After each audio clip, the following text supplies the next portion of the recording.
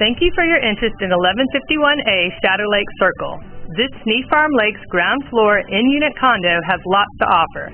Each of the three large bedrooms has access to a full bath, two privately, and one with additional hall entry. Two bedrooms have walk-in closets while the other has a shelved nook.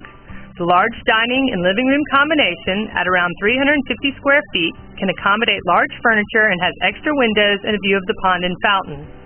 The neighborhood pool is just a few steps away too. All appliances convey, including the washer and dryer. Although not necessary, this unit could be updated and has lots of potential, especially for $112 a square foot. Sneed Farm Lakes is on the approved list for FHA financing and would be a great candidate for a rehab loan. It's being occupied as a primary residence. This home is being offered at 169,000 and sold us with an offer.